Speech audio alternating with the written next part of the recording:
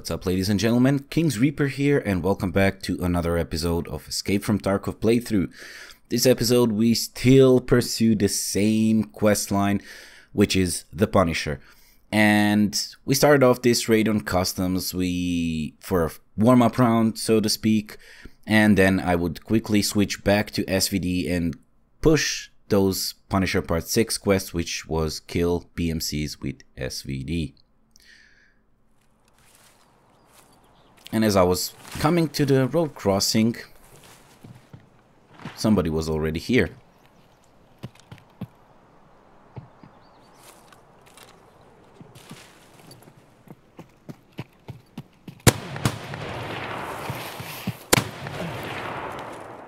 Two bullets and the guy goes down. Thank Lord for that. I waited just to see if he had a friend somewhere near here, but Obviously, he was solo, nobody else was here. So I gladly picked up all the gear that he had for me. And just a few moments later, I heard somebody else moving around here. And it was obviously a squad. A squad of three guys.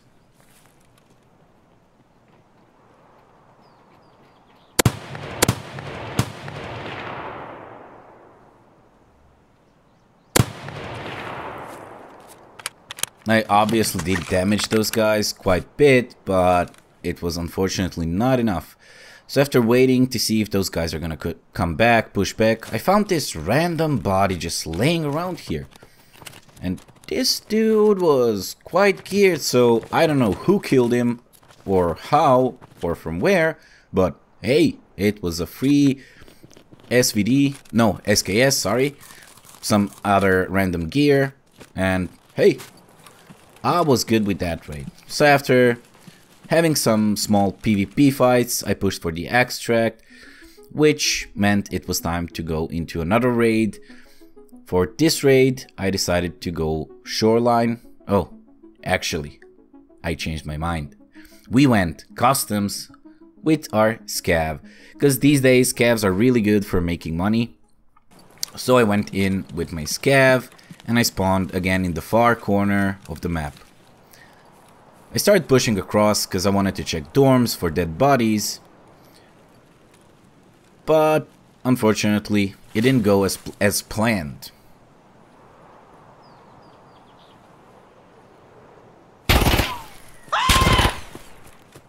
So there was that dude behind me, sneaking around, started shooting at me.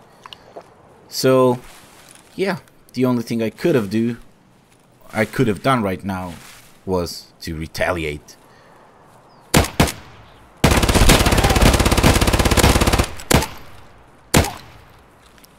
I had a big ass AK with no stock, which means this gun was not gonna be shot in full automatic mode, cause yeah, it kicks too much.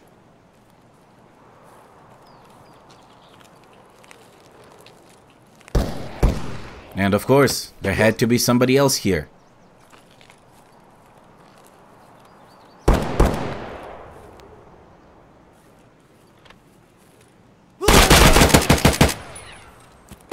A lucky headshot and I killed that guy.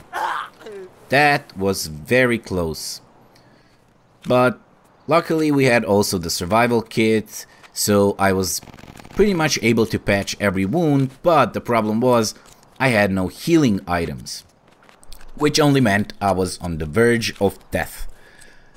I was about to die, and the only thing I could have done in this situation was try to loot up some stuff. Hopefully, one of these guys is gonna have something good for me, some healing items, so that I could patch up at least a little bit, otherwise I would most certainly be dead on the next bullet.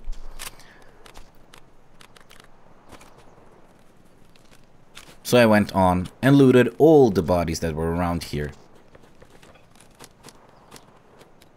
And there it was, some healing. Not a lot, but it was at least something. So there was another dead player here as well, which was kind of surprising, but okay. I pretty much scooped all the loot, healed as much as I could, and it was time to go for the extract because the next fight would have been fatal. So I went to the passage between rocks and I success successfully extracted.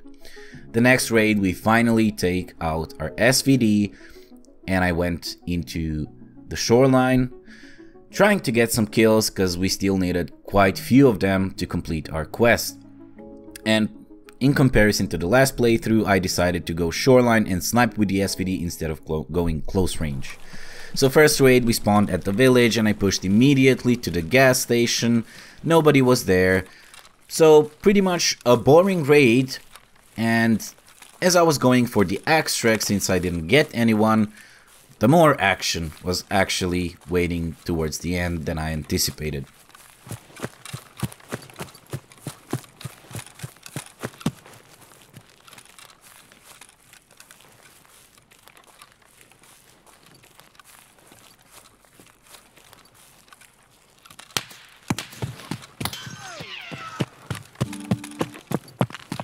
I was about to cry.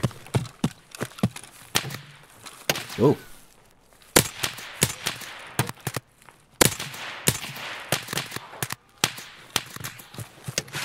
There was obviously more than one person shooting at me at this point.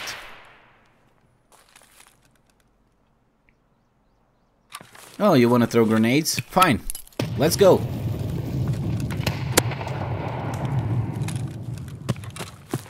So I couldn't know for sure if I killed him or no.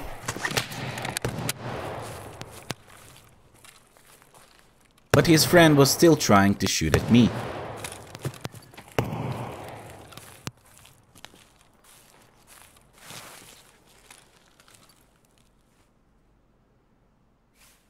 So I was kind of pinned down to this hill.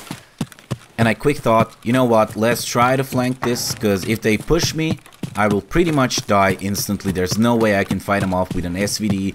If there's more than one guy left, like two guys, which probably is, there's no way I'm gonna survive that. So I started pushing quite far back so I could make a distance between me and those guys. Hopefully they wouldn't see me pushing back. I was using every possible dent in the ground, every, every low ground to hide myself so that they wouldn't see me. And so far, it seemed that I was not spotted yet. It would seem that they didn't know where I was. Now I had to check the extract as well, because I'm not sure if they would go extract immediately, or are they going to camp me. So I waited here just few moments to see if they're gonna push the extract or no, because clearly they were also going for the extract.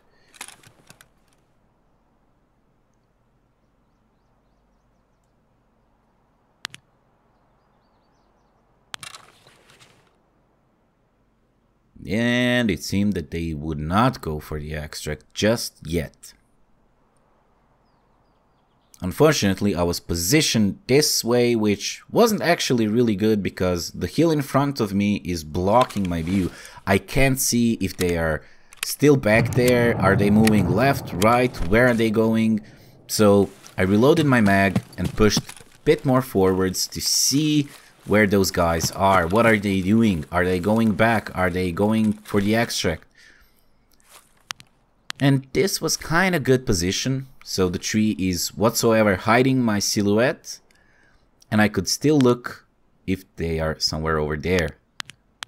And there he was. So that was definitely one guy down.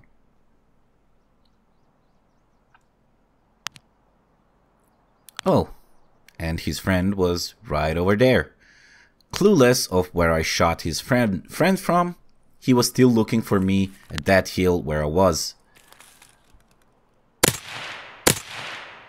Ladies and gentlemen, we got him. And so, I did manage to kill these two guys for sure. Now I was looking for the third guy because there was a lot of shooting going on and I wasn't sure if I did kill him or didn't. So I couldn't push just like a psychopath inside, you know, guns blazing, Rambo style. No, no, no. We had to play this slow.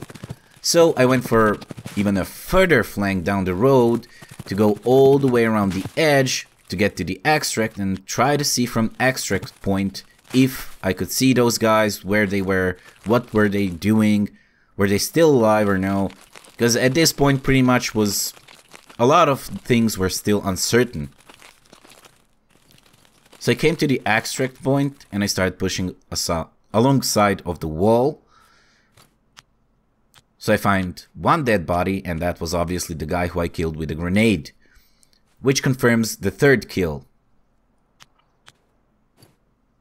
But I was still kind of worried that the third guy or the fourth guy or the fifth guy was still somewhere around here.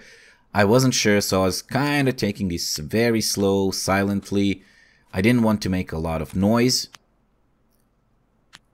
And there could also potentially be someone on the hill as well. So I was slowly pushing just to make sure that really everyone is dead and that I am clear to loot all the gear.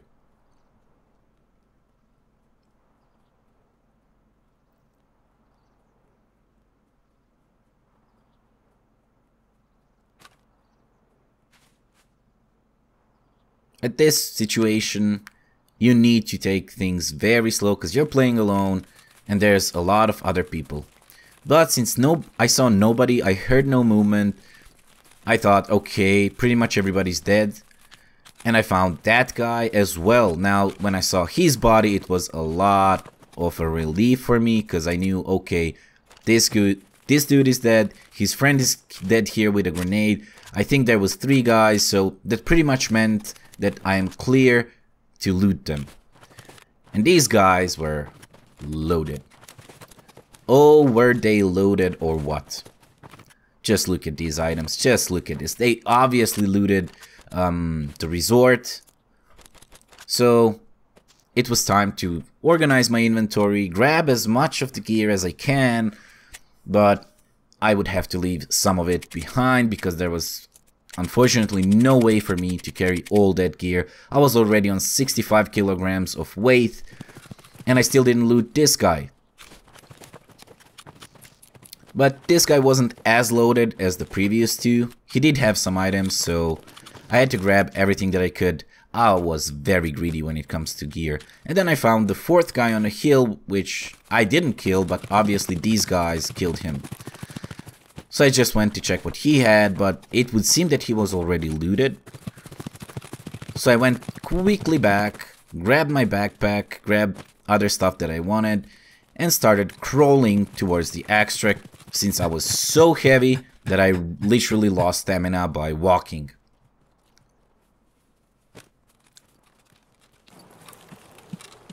So yes, this raid ended up with a big fight at the extract and that was two more kills done with the SVD. So I loaded up quickly once again onto Shoreline, again with an SVD, in hopes that I would catch some more players, get some more gear, and finally be done with the quest.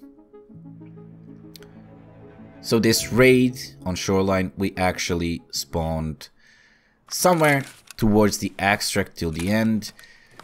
And when I realized where I was, I thought, you know what, there's no point of pushing forwards when all the people are pretty much in the back.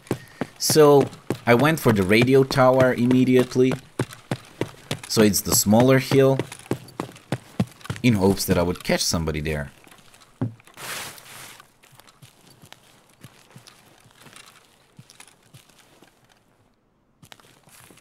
So at this point there was nobody to be seen here. I saw nobody crossing the field. So I rushed to the other hill with the radio tower.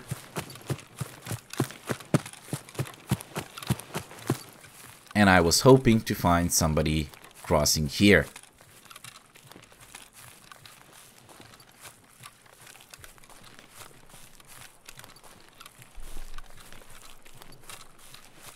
And there he was. But somebody pushed already on the hill.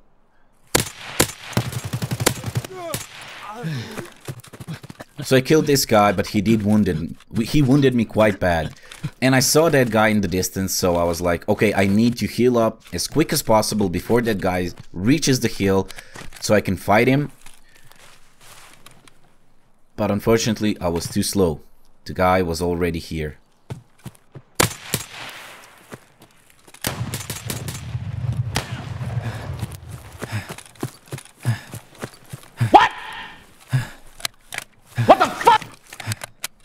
So yeah, obviously you take one shot from a shotgun and you're completely boned. Now that's really, really interesting. So one bullet does that much damage. I'm even wearing body armor and look at the damage that this dude has done to me with a single shot. So I had to pull back, heal up, and wait up to see if he's gonna start searching this side of the hill because I knew he needed a close range and I was at an advantage if I fall back and sit in a bush to see where he's gonna come from.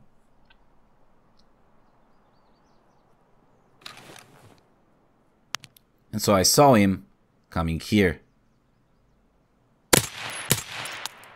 I probably gave him a solid shot there, but unfortunately I don't think I killed him. I had to heal up. I was critically wounded. And if that guy shot me once again, like that, I would be dead. So yeah, I pretty much used all of my IFAK. And still, I was again looking for this guy, but I couldn't see him anywhere. I couldn't hear him anyway. So I thought, okay, maybe he went away. Maybe he decided it's not worth it because he knew I was sniping and he needed a close range. So maybe he went for resort. I don't know. But I went my I went slowly and took my time to research the hill to see if he's still here or no. And as I was pushing for this body, there he was.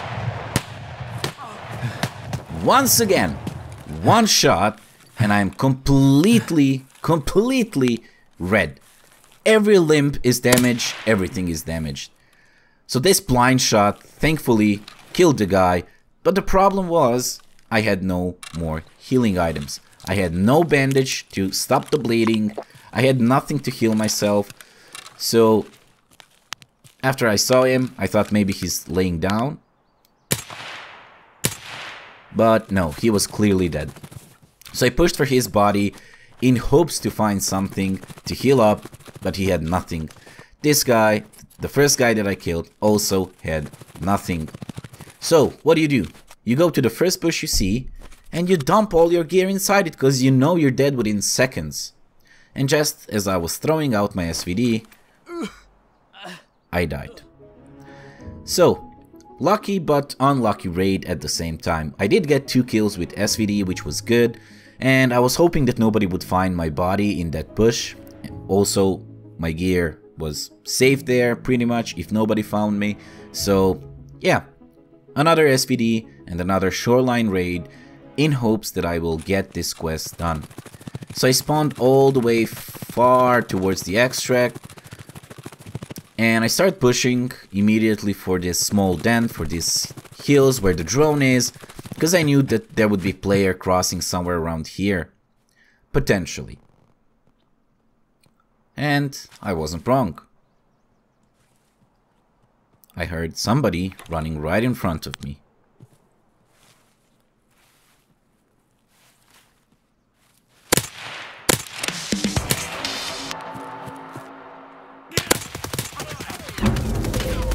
And you know what? I didn't care. I didn't care at all. My quest was finally done. Even though I died, I was done. This meant only one thing, ladies and gentlemen, and that is Epsilon container was ours. So we finally finished the Punisher.